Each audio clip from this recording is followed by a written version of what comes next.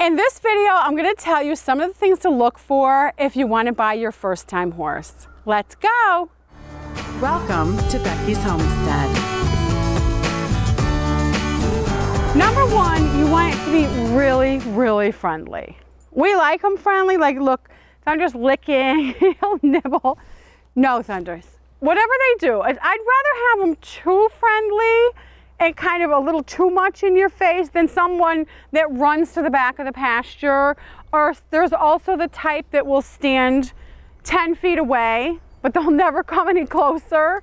I, I am not interested in an animal like that. We want to use our animals, so we need them to be family friendly. So also what you want to look for are really good feet. You don't want them to be cracked. You want a good hoof because if you plan on using your animal um, you need good feet on them. Of course, regular scheduled farrier work on your animal is an absolute must. You have to make sure that you're in a financial position to be able to afford to have your animal's feet done on a regular basis or just don't buy a horse because it's really not fair and it's that important to have the feet done. This is what a healthy hoof looks like. It doesn't have any cracks in it. It touches the ground all the way around. And even if the feet aren't perfect when you get them, they might be a little long. They, you don't want cracks in the hooves. You can cure the cracks. It's a big pain in the neck. And if you can get a horse without them, it's much better. As you can see, none of our horses have cracks in their hooves because we manage our horses well and they're healthy. And we ride them barefoot and they have great feet. And a farrier is a man or a woman who comes with their tools and trims the horse's hoof. The hoof keeps growing just like our fingernails do, and they need to be clipped and filed every two months. Even though Thunder's on the small side, which that's the way we like them, short and stocky, Thunder is put together very nicely. When Thunder stands up, and Thunder's 18 years old, and he looks fantastic, and he's 100% healthy. And when he stands up, his feet are under him. His feet don't angle back to hold his weight up. He's supporting his weight on all four legs equally. Some horses will stand with a more forward stance. Some will stand with a little bit of a back stance. You don't want any of that. If the horse isn't sore in its feet and legs, it will stand like thunder, square. Very nice, supporting all his weight. Also, you want to look at the top line again. You don't want a bony, spiny, knobby, right here you'll see a knob, hippie looking horse.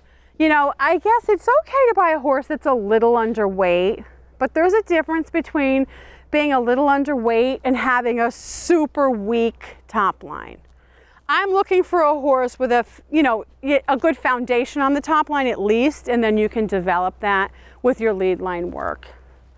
Also, um, you want to look at their eyes and their face. You want them to have bright eyes like it's paying attention and it's looking, you know, it's looking out there at the world.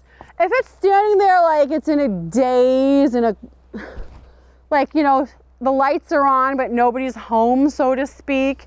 That's not the kind of horse I like to pick. I like to choose one that's looking around, it's interested in its world around it, it's got curiosity, you know, it wants to go sniff something and investigate. That's the kind of horse I'm looking for.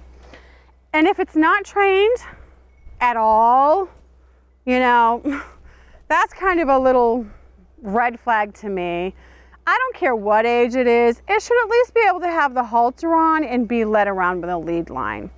So, you know, if you show up somewhere and it doesn't have a halter or the halter's grown into its face, like they put it on when it was a baby and they've never touched it since then because they can't catch it, forget it.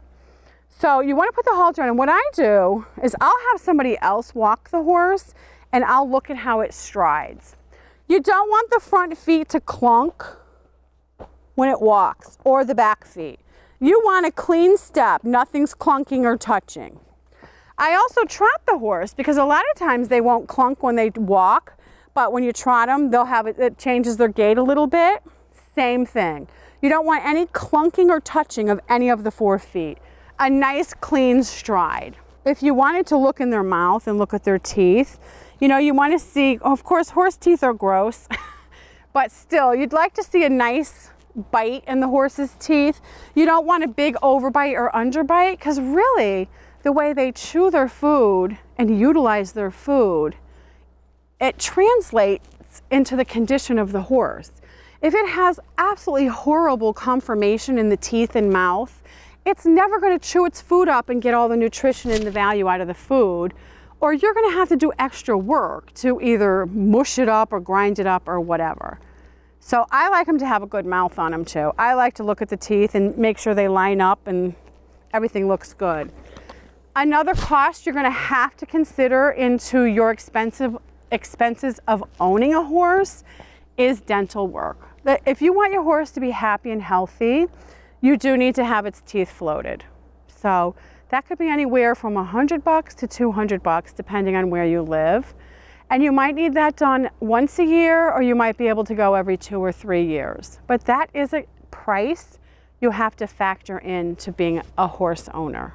This is a test Scott came up with and I think it's so funny, but it's very, very good and smart to do. Scott will stand near the horse like this and he'll jump up and down. And if the horse just does what Thunder does, he kind of looks at me like, what are you doing? It's a great horse. Some horses will literally shuffle away from you. They're so terrified of the jump test. But you want a nice calm disposition that you can stand and do the jump test and the horse doesn't even care. Like, Thunder's not even looking at me. So make sure you do the jump test, but always be very careful when you're doing it. Sign up for Becky's Homestead newsletter. Go to beckysHomestead.com and sign up on the right. You'll get articles, news, and specials from Becky every month. Unsubscribe anytime, no spam. If you like this video, click the like button. It really does help us a lot. And if you want to be notified every time we post a new video, click the subscribe button. If you would like to help support Becky's Homestead so we can make more videos for you, when you do your shopping, if you go through our link on Amazon, you don't pay one penny extra, but Amazon gives us a small percentage of every purchase.